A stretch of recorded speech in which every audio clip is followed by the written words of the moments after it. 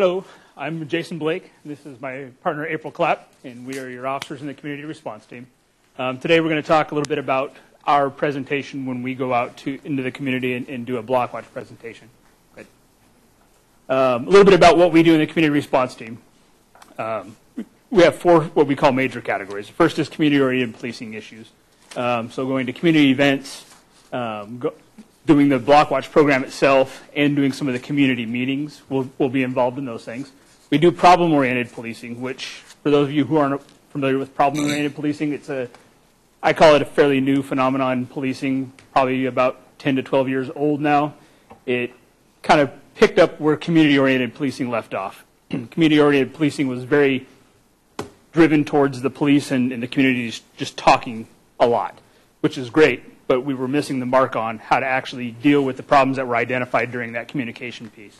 So problem-oriented policing, where when we identify a problem or a community or a neighborhood, let's say, identifies a problem, we'll come up with different approaches on how to deal with that problem. It may, it may be a, a crime problem, it may be a quality of life issue that needs to be um, dealt with. And so we'll do that either through directed enforcement, proactive enforcement on our end, um, or if we need to get either ourselves or other officers in different divisions in the department involved in doing some directed enforcement on particular issues, whether it be speeding, parking issues, things like that. Um, we're also responsible for doing gang investigations and intelligence.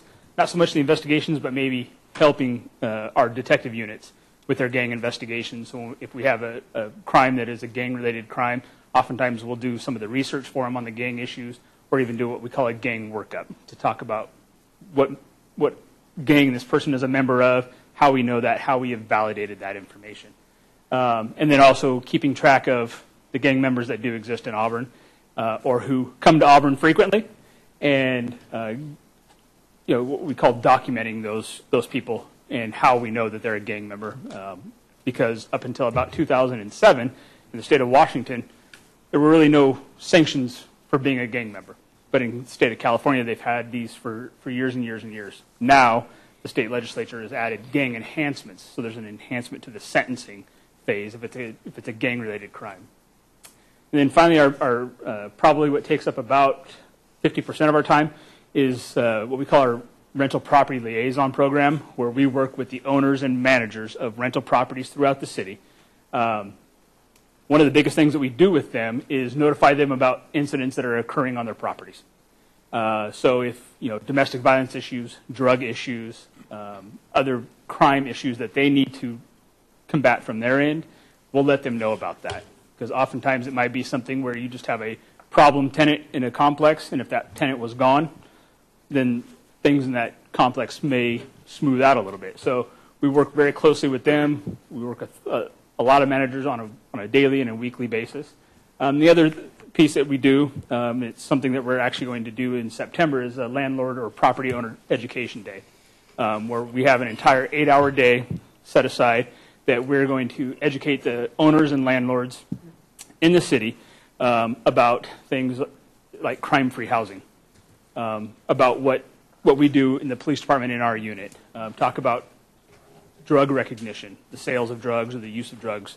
Um, we're even talk things as, as simple as if you've got an, an, abandoned car on your property, what can you do with it? So we're going to bring in a, a, one of the tow companies to talk about how that process works and what they need to do legally.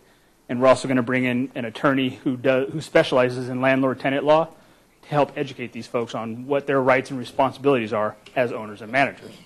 Okay.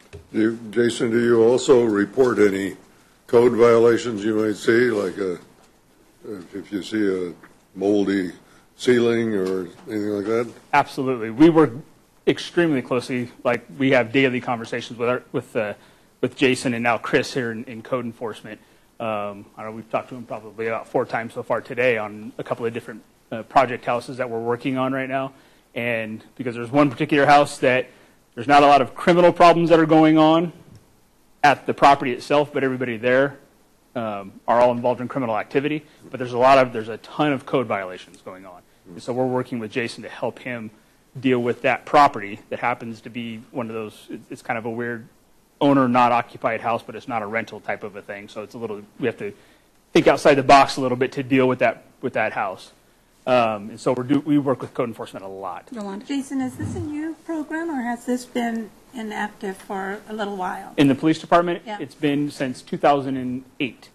Uh, as a matter of fact, I started in this unit, and then I went into detectives for five years, and then I've been back now since October. And are some, most of these landlords locally here, or are they from out of state, or? You know, it's a pretty even mix. We have a lot of landlords that either live in Auburn or maybe on the maybe not in the city limits, maybe unincorporated areas, um, but as well as many that live in Kent, Renton, Seattle type area. But then we do have a, several owners who live in California, Arizona, places like that, and some of them will actually contract with uh, management companies like Bell Anderson Properties and things like that to manage their properties. Um, and so a lot of times we'll, we, we've kind of gone through this daunting process of trying to identify all the owners and managers of every rental property in the city. And we're creating this database that's searchable from us either out in the field or, or in our office where we can have that constant contact. So you'll require the rental agency to come to this, to this training as well? It's not going to be a required thing. Okay. We're going to Okay. offer it. Offer. But in the managers that we've been speaking with so far, I think we're, we might actually end up being overwhelmed with the number of people that we're going to get uh, because we're, it's something that we're going to be able to offer for free. Uh, and then in the subsequent years after this, we're actually going to join a, a uh, kind of a, what we- we're going to call it a valley-wide consortium, essentially, that it's uh, us, the city of Kent, Federal Way, SeaTac, Burien, Tukwila, I believe, where we're going to offer this as a one big collective group that every agency is going to be involved in it, and um, we're going to invite the managers and owners from everywhere in the valley and hold it at a much bigger venue. And so that's going to be something that's going to Jason, you might want to think about how we could make it a requirement. For instance, make it, they have to have attended to get their next business license or something, because this has been a huge problem in Auburn for 50 years of, of uh, landlords who don't do what they're supposed to do. Yeah. And we've moved forward quite a bit in the last few years by, through the business license process mainly. But I think what you're doing, I didn't realize this fourth bullet existed in your require, your duties. I, I think it's a great opportunity to do even more. And, and, and that's actually one of the things on our list that we've talked about. If, if we're looking kind of into the future, trying to think of things that we could do to improve our own program internally here in the city, of things that we could do. And, and that's been one of the ideas that's been put down on our list is making a requirement that if that manager hasn't attended one of those trainings somewhere, that they have to attend within, um, you know, six months or, or whatever that magic number ends up being. Um, but that is actually something we, that we that we have on our list. So if there's a, a problem at an apartment complex or a home that's being rented out, and complaints have come in from neighbors or someone else in the immediate area, is there a follow-up with those folks as to what the status of maybe the situation is? It depends. There are times when we do follow up with those folks. Um, sometimes they come to us anonymously, so they want to they want to complain about the neighbor, but they don't want to tell us who they are. They just want us to know about what's going on. Um, and sometimes they're just like, if you could just take care of the problem, that would be great. Uh, you know, we don't need to talk anymore. I just want you guys to know. Um, so it really it, it all depends upon what level of involvement that that complaining party wants to have. If they want to be very involved, then we'll keep them up to date as much as we legally and, and you know, possibly can. Um, if, if they don't specify one way or the other, then we'll, we'll make a judgment call on, on the, kind of the severity of the whole issue versus, you know, the, the greater good, if you will.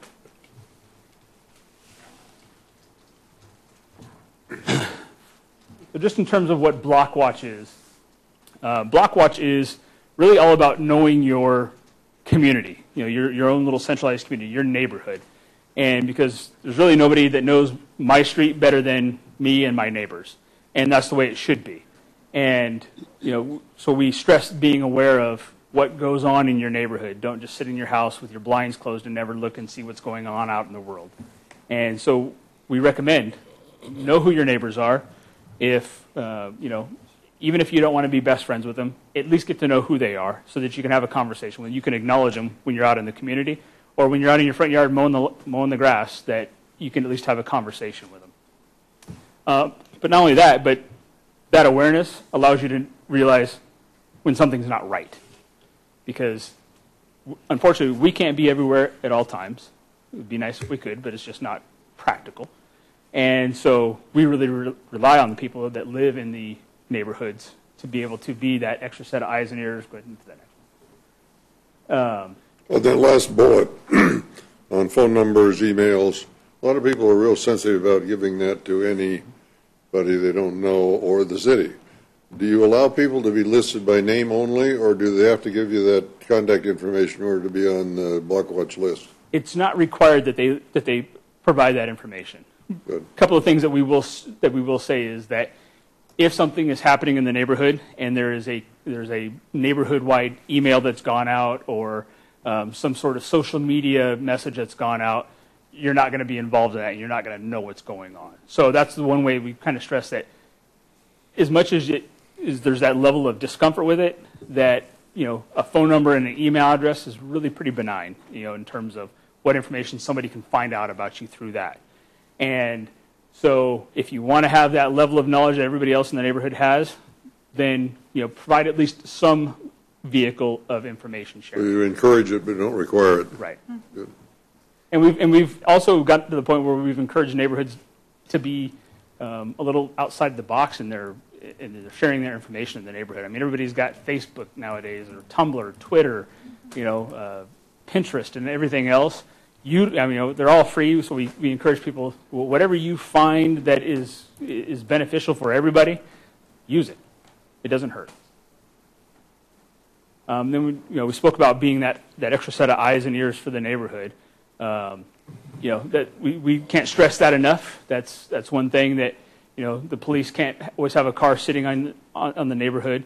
Um, so everybody in the neighborhood has to be that extra set of eyes and ears for each other and for the police because, uh, you know, we have one community and I'm sure everybody's somewhat familiar with the community, but um, they've got a pretty strong neighborhood watch group that they've got a, a person who is pretty diligent about putting information out to the neighborhood.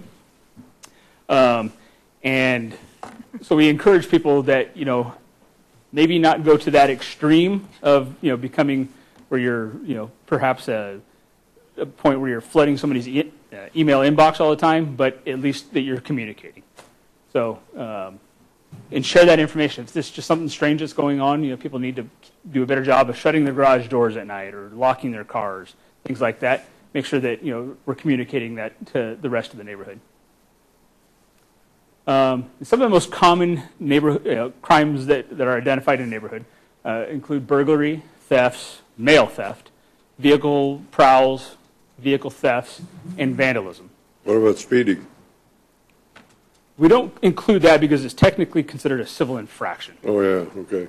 Um, it- But we should, we should include traffic, traffic complaints in there as well, because that's, I would say probably of all of those, the traffic complaints are probably the most predominant complaint that we receive. Jason, what is the time frame for a police officer to report, um, to come to a, um, call? It really depends. Um, And, and we're actually going to touch on it here, um, we're going to touch on it here in just a moment. Okay. All right. Um, and then, you know, when we're talking about being that eyes and the ears for your neighborhood, uh, we talk about different types of suspicious behavior that should warrant a phone call to the to the police or to the others in your block watch community. Um, so we use things like you know prolonged loitering, whether they're sitting in a car in the neighborhood or just sitting on a curb and don't seem to be generally doing anything other than just kind of keeping an eye on what's going on in the neighborhood.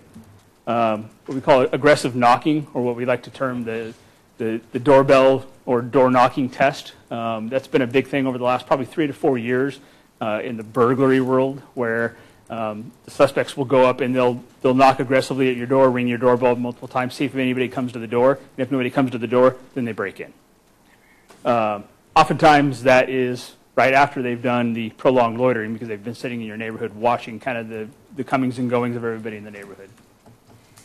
Um, the going door to door with a with an odd story or sales pitch is one thing that we, we get a lot of calls about these um, weird salesmen. They'll show up and they don't have any type of ID on them, and they only have one pamphlet for whatever product it is that they're that they claim that they're selling. So that's a little odd. If you're a true salesman, you've got a box full of stuff, you've got a name tag, and you, and you look somewhat officious. And if you've done everything right, you've gone and got your city business license to sell door to door and things like that. Um, you get these guys that are walking through the neighborhood, paying attention to all the vehicles, looking at which ones are locked and unlocked, which ones may have keys left in the ignition, uh, or keys that are sitting in the center console, um, or driving excessively slow through a neighborhood. You know, we all appreciate a nice 25 mile an hour, you know, speed through our neighborhood. Maybe in some neighborhoods even slower. But these are the guys that are driving, you know, 10 miles an hour. That they're basically just idling down the road. Um, their unwillingness to make eye contact with anybody in the neighborhood. They just walk down the they just walk down the street like this. They don't look at anybody. They don't want. Basically, they're trying to keep their anonymity. They don't want anybody to know who they are. They don't want any, want anybody to know what they look like. Um, and then they dress in a manner that's inconsistent with the weather. So in weather like we're having today, where it's warm outside, um, these are the guys that are going to wear the big snow parkas, the you know hoodies that are with the hoods over their head. I'm sorry, it's too hot for that. It I mean, it's just very that's odd dress. Okay? How about you, if you've got young kids dressed like that and going door to door? That would be odd. That would be suspicious, unless they're carrying around a, a wagon full of Empty Girl Scout backpacks. cookies or something. Um, but yeah, if they're, it, it's it's one of those things that, and, and I put it up here. If it doesn't feel, look, sound right, it's probably not. And we would much rather get that phone call and say that there's this suspicious activity for us to go out and investigate it and find out that it wasn't suspicious. There is something legitimate going on. We would rather that than people say, ah, they're probably just doing this. Come to find out they're, you know, two members of a much larger burglary ring or an auto theft ring. Um, one misnomer is that, you know, so I called the police and nobody showed up. That's not true. Every call that we get to 911 in the city of Auburn, you will get an officer to, that will respond in some way, shape, or form, whether it be via phone, in-person contact, whatever the requested method of response is, is what you will get from the Auburn Police Department. And you know, some people say, "Well, I think you're, I'm wasting your time because I, it just seems kind of odd to me, and I wasn't really sure." Well, we would rather have you call than not. Um, and so people say, "Well, I don't want to call 911 because that's tying up a 911 line." Fair enough. We have a non-emergency line now. That's something that's fairly new um, through our dispatch center, only within probably the last uh, year and a half. Um, so we provide that phone number as well. And then we have a third mechanism of, of reporting, which is the online reporting. Um, that's always there as well. But we always say, if it's something that's in progress, don't file an, an online report because that's something that nobody's going to see for several hours. And if it's something that's happening right now, we want to address it now versus 10 to 12, 15 hours.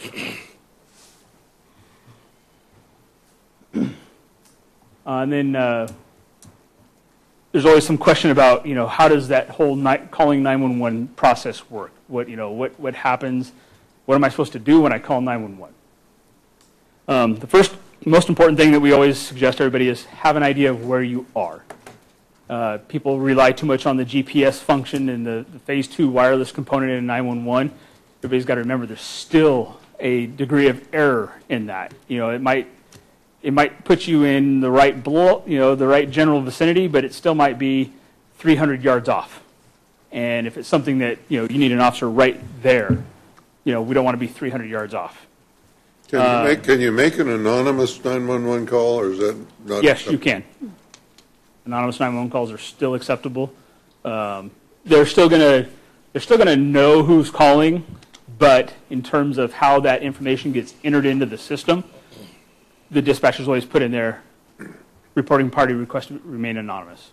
And so, but they would put your cell phone number in if you were calling a cell phone. Because it may be something that um, being anonymous may not be a factor. If it's, say, somebody called about an, an active shooter, let's say, once that's all said and done with, that's somebody that is going to be a, a phenomenal witness, and we're going to have to at least talk with them. Whether or not they get involved down the road when it goes to court may be a different story.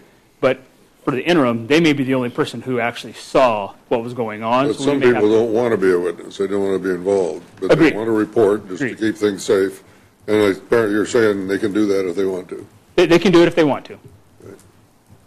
Um, and uh, there's always the question of why do I get asked so many questions? Well, because the call taker is not there. They don't get to. s- They don't have the luxury of seeing what the reporting party is seeing. So they're going to have a lot of questions for you.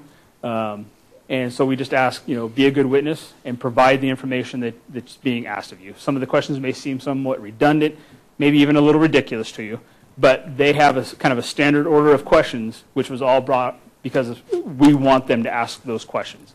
Because for us, they're basically doing us a favor by, we want to have a, be able to paint at least a fairly decent picture by the time we, we go into an unknown situation than just saying, well, there's some guy that's shooting people here. Well, if we, we would like to know some more information. Um, Wait for next. And then after you're, uh, after you've made your 911 call, the, the uh, call receiver takes that information and gets entered into a, to a, what we call a CAD database.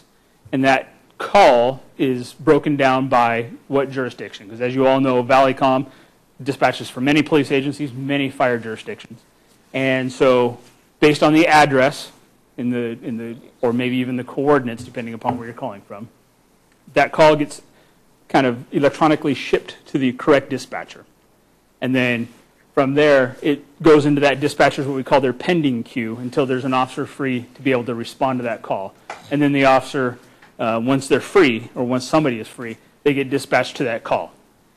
And then the officer responds, like, like we said before, whether it be, you know, they request for phone contact, they want an area check, they need to make a report, things like that, and then it gets handled that way.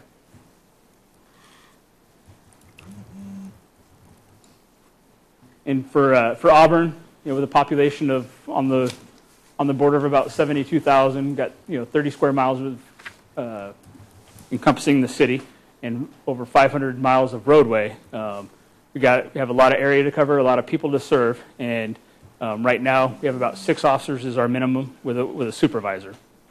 So sometimes it does take us a little bit longer than we would really like to get there, but we're always going to respond. Sometimes it might take us five minutes, sometimes it might take us a couple hours, but we're going to respond. Uh, if if somebody calls 911, we're gonna, you're going to get a response. So if somebody you know ever tells you guys, well, the cops never showed up, well, they did. They may not have been there in two minutes like you wanted them to be, but next we're going to talk about why. Oh wait, no. I I thought that was my next slide, but I forgot we cut it out. Um, so the reason we respond in the way we do, there's a there's actually a method to our madness. We have calls that we prioritize one through four. Priority one are your highest priority calls, so your shootings, your robberies, um, things like that, and then you have your priority four calls, which are your things like um, my bike was stolen three months ago.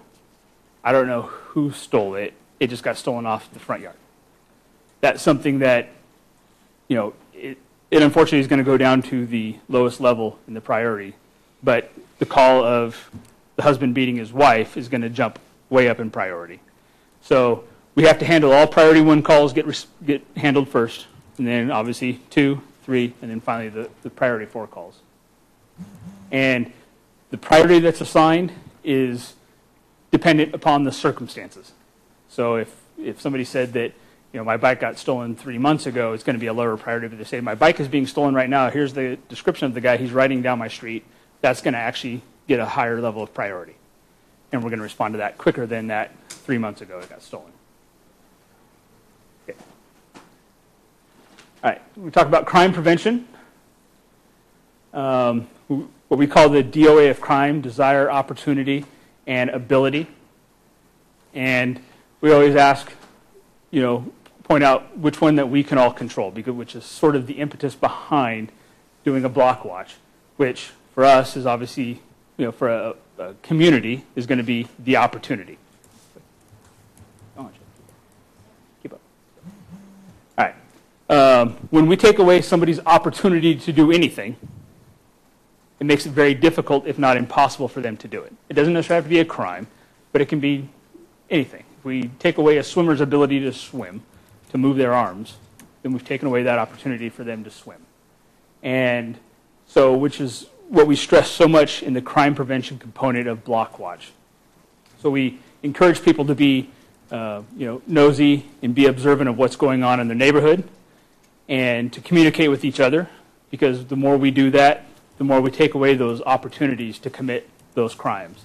If a criminal comes into the neighborhood with the plans of starting to break into cars, but there's four neighbors that are out, and every single one of them is watching that person do things, that opportunity has been taken away from them because they've lost their anonymity and they've lost that ability to do it, right? And then that last component of it is making sure that we're calling the police because we oftentimes get things, well, God, our, our neighborhood is just getting hammered up here. So before we go and do a block watch, we always check the statistics on the 911 calls that were placed for that area, the reports that we've taken for that area, and oftentimes there is a large disparity between those two. And they say that their, their neighborhood is just getting, is just off the hook and it's getting blasted, and we find that they've had two 911 calls to the neighborhood in the last eight months. Well, if we don't know about it, we can't give it attention, right? So we need to, need to make sure those, those things are happening. Um, in crime prevention in your homes, you know, there's always the big ones of making sure that you're locking all of your doors and your windows. And we even suggest for the windows in the sliding glass doors, if you get the, uh, you get the blocks or you take a wooden broom handle, cut it down to size and put it in the, in the window to make it uh, so it doesn't slide open. Uh, we stress lighting, especially motion detection uh, lights that come on when, in, you know, sometimes if you live in certain areas, it's a little counterproductive because you have a lot of raccoons or things like that that come in there. Uh, that's my problem out in Enumclaw.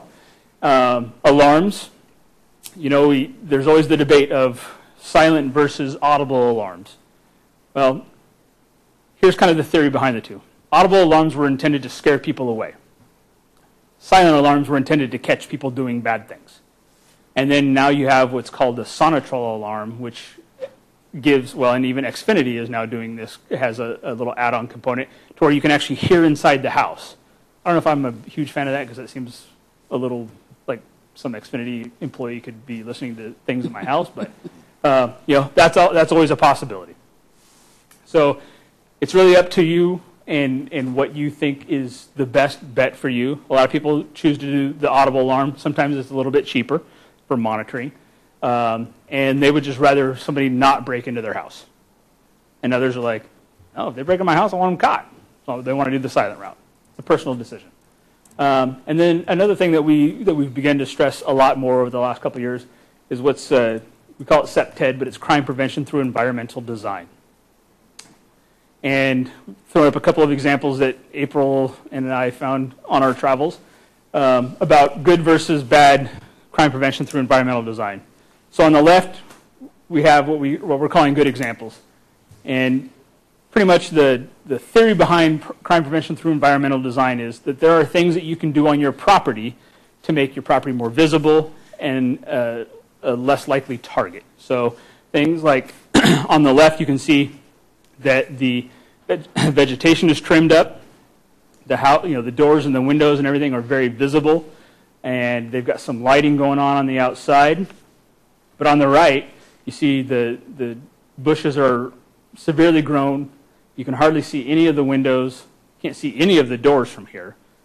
So, you know, if I'm a if I'm a burglar, I'm going to decide which of these places I'm going to break into. I'm going to break into the place that's going to give me that that ability to be clandestine when I go in there. That nobody's going to see me going in. And so um, we actually started stopping and, and talking to homeowners and, and businesses who were letting their, their properties look like the right and say, you're just asking to be burglarized or you're asking to become a victim of a crime. Um, and there's some, now we're starting to get more requests for, for businesses, you know, asking us, will you come walk around our property and give us a, just a, some advice on what we should do? So we started doing that a little bit more now as well. Um, but, you know, crime prevention through environmental design is, is something that can often take your house from being a, a very desirable target to a very undesirable target with really very minimal cost, a few hours of your time. for, uh, for vehicles, uh, we talk about, you know, making sure you lock your cars. Don't store valuable items like your iPads and your laptop computers and your cell phones and things like that, or your big wad of Starbucks money in the center console. Um, and believe it or not, we still have to say this today. Don't leave your keys in your car or leave your car running. Um, we still have a lot of auto thefts that occur in this city every year because people say, well, it's too cold outside. Well, would you rather be a little bit cold where your car warms up and still have your car or not have your car at all? Uh, some people don't even think about it in that, in that correlation. Uh, and we also recommend getting some sort of security or anti-theft device. You know, there's, you know, car alarms have been on the market for 40 years. Um, but you know they're becoming more sophisticated. You know things where you can monitor from your cell phone now. Um, and then there's also what are uh, aftermarket microchip devices where you can actually have the microchip installed into somewhere on the dash on your car, which basically kills the connection on, on your electrical system in your car so that there's not that loop that the, your ignition system requires to actually start. There's a lot of car manufacturers that are that that's becoming standard in their in their car keys nowadays. That the chip is actually embedded into the key so that if you lose your car keys, you're in a world of hurt. Because even your valet key is not going to start your car anymore. It used to be where you could start it with a valet key. Um, but you know those microchip devices are are pretty inexpensive. I would say probably less than three hundred dollars uh, installed at places like Car Toys and things like that. And um, your insurance company gives you a, a, a discount. Up, some of them up to twenty percent discount for having things like that. Um, we also recommend uh, vehicle tracking systems, especially if you own certain makes and models of cars. Um, things like LoJack, Skylink, and OnStar. OnStar is only available on GM manufactured products, but Skylink and LoJack are both available aftermarket. Uh, LoJack is has been around now for probably close to 20 years. Um, probably the most popular vehicle tracking system on, on the market. Uh, it's expensive. It's about $900 installed, but it's uh, you have a very high guarantee of getting your car back. Um, it is one of those things that's trackable by the by law enforcement. So it sends out radio waves, and then those radio waves go to little units that are in the in many police cars that can receive those and start giving that law enforcement officer a directionality where that signal is coming from when they get within between one and five miles of the car, depending upon the, the terrain of the area. Um, here in Auburn, because we're urban, it's it, we have a we have a pretty good range, except for sometimes we get some of the buildings. Seattle, it's a little bit different because you have a lot more of the high rises that block some of those signals. Um, Skylink, though, is, is a fairly new product, only been on the market a couple of years, and it is GPS based. And you can, you can actually track it yourself. It doesn't need to be the police that can track it. You can actually track it yourself. And when I was working in detectives, working in auto theft, I actually had two successful recoveries of cars with people using Skylink and saying, hey, I found my car, here it is. I go out there and sure enough, there's their car. Um, so Skylink, I'm not sure exactly how expensive that is. I've tried to get them to, to give me some, some uh, specifications on it. I'm having a hard time linking up with anybody from their company, which seems kind of weird to me, but um, it is what it is. LoJack, though, I'm very familiar with, and uh, it's a great product, um, but it's expensive. Uh, then we talk about documenting your valuables, and um, when we talk about documenting your valuables, we talk about when you buy uh, when you buy new items, write down the brand, the model, and the serial number of your of your property, whether that be for your TV, your cell phone, your firearm, whatever it is that you have, that you have to have all that information. Um, and, there, and there's a couple of reasons for that. One, it's once if if you report that item stolen, we can actually enter that property into a nationwide database. And so any police officer in the United States, if they run into that Huffy bicycle with this serial number in New York and they run that through the database, they're going to show that that bicycle was reported stolen to the Auburn Police Department in Washington State. So it helps, it increases our ability to recover property. Not only that, but when uh, items are stolen, they often end up in pawn shops. And we actually have access to a database in the police department. It's called LeadsOnline that we can track property that is sent to a, or is taken into a pawn shop because pawn shops are required every 24 hours to report their transactions to local law enforcement. So um, one way that we've encouraged the use of LeadsOnline is to say that you're fulfilling your requirement because it used to be they'd have to write all these, handwrite all these things, then they would have to fax every pawn ticket to the police department every morning. And so we've encouraged them use LeadsOnline because it still fulfills your requirement per state law, and it gives us a better ability to track it because we can run those things either by description, by the serial number, um, and it doesn't even have to be a very specific description. We can just look up gold ring with a uh, whatever sort of cut diamond in it, and we'll get all of them that were pawned in the state of Washington, Oregon, and Idaho, and so we can take the time-consuming task of actually looking through all those. But, um, you know, if the person doesn't know their serial number, that makes it a little bit more difficult. But if they have their serial number and they say, oh, I had a Stihl lawn blower and, uh, you know, here's the serial number, I can look up Stihl lawn blower and it'll tell me, oh, yeah, it was pawned at the pawn exchange on Auburn Way North. And we can go and recover that property, get it back to the owner. Um, so, but now, you know, as I'm sure you're all aware of, uh, this new system that, that uh, is coming online here this year, TrackMole. TrackMole is a great product. Um, we're using it in the police department very regularly, and we're uh, encouraging its use to the citizens. Um, it basically gives you the ability to have an online uh, listing of all of the property that you own. You can go in there, you can create an account, which is free to you, and you can go in there and list all of your valuables, at least anything that you would ever want back or that you can that you can track, and it'll allow you to go in there and put in the the make, model, and serial number of all of your property. But when you do that, it gives the police department the ability to see that. So if we are walking down the street and we happen to find this Stihl lawn blower sitting on the side of the street, we can run that through TrackMole and it'll say, oh, well, Joe Smith uh, put that into our system as, as his property on this day and time. So we can call Mr. Smith and have him identify his property again, which is yet another way that we can get property back. So I haven't stressed enough, it's very important to keep all the make, model, serial number of your property. Uh, next, we'll talk about graffiti a little bit. Uh, this is graffiti that was up on the, uh, that was down off of F Street Southeast. All right, so graffiti. Um, there's kind of this misnomer of what graffiti tru- truly is. Some people think that every piece of graffiti you see out there has got to be a gang. Not necessarily true. We have a lot of tagger, what we call tagger crews in Auburn, or actually, we'll just say in the South County.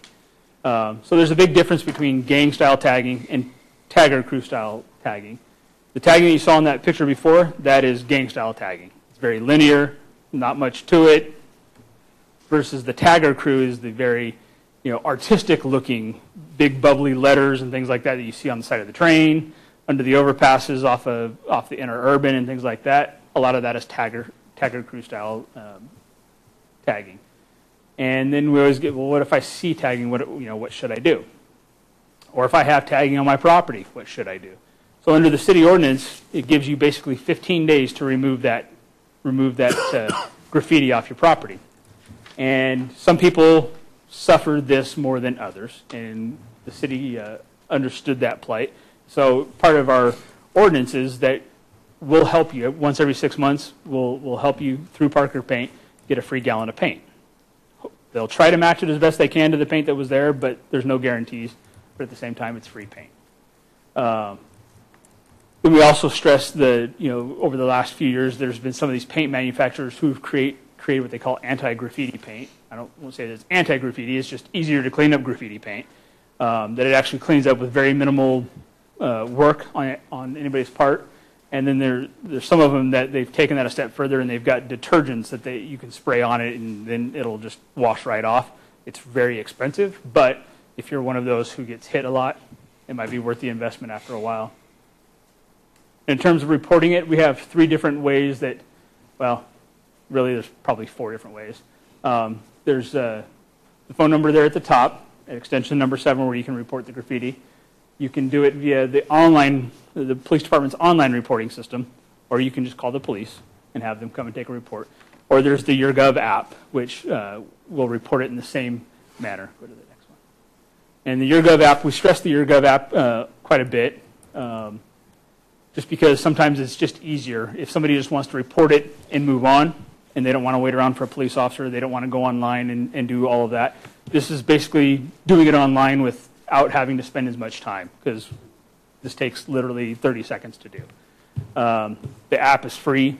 It's available on both the uh, Android market as well as the uh, Apple iTunes store.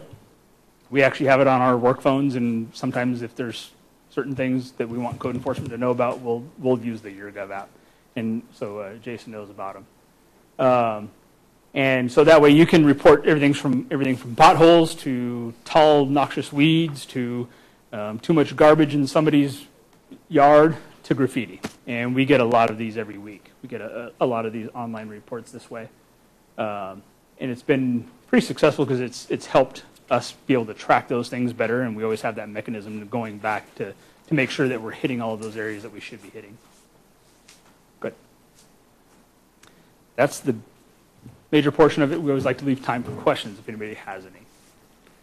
Questions? Jason, you, when you talk about the priorities of the, of the crimes, how is that established? Does that come to you folks as it's a priority one, two, three, or four? Or is it Yes. established in the field? That, that criteria is built in through Valleycom's system. That, um, and if I remember right, I think they can override it, but it's, it's usually attached to what we call the type code of the call. So if there's, you know, say an assault, they may have the option of, um, you know, seven different types of assaults, whether it's an assault with a weapon, without a weapon, in progress, not in progress.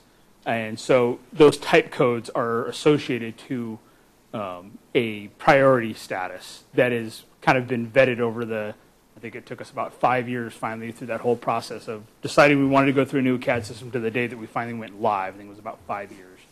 Um, and so through all the various levels of committees, you know, from the users group all the way to the administration uh, group, um, we went through those and, and vetted those and said, okay, well, if it's this kind of call, it should have, generally should be this priority.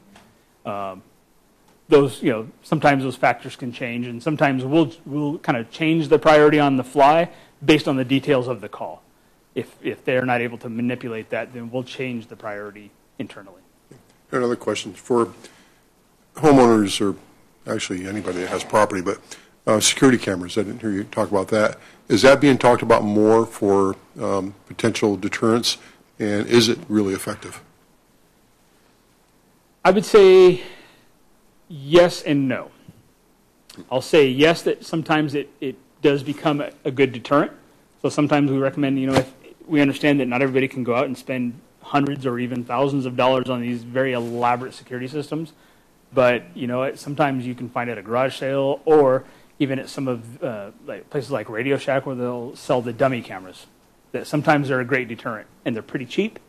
Um, takes two minutes to, to install them, you know, however long it takes you to put four screws into the, in, into wherever you're going to install it. Um, all the way up to, you know, there's, we've met some homeowners who have these very elaborate, as a matter of fact, the last block watch I went to, uh, one of the guys has got this camera system that is almost as good as the casinos. It, it was just, I mean, it was amazing what this guy could do with his cameras. And he had a million, I- there wasn't a piece of his property that was not covered by a camera. This guy had invested thousands of dollars into his camera system, which was like, wow, that's kind of amazing, but it's better than half the businesses do, you know. Um, but if you're going to if you're going to do a camera system, if you're going to make that investment, we, we say it's kind of like it's kind of like buying a car. If you're going to buy a car, buy something good. Don't just go buy the cheapest thing on the market. Go find something good that's going to meet all of your needs and is going to you know be usable for you in the long term, not just something that because you, you felt that if, if you're just going to buy the hundred dollar special somewhere, you might as well just buy the dummy cameras and put them up because they're going to be just as good as the dummy cameras, and because the quality of the video footage is, is horrible.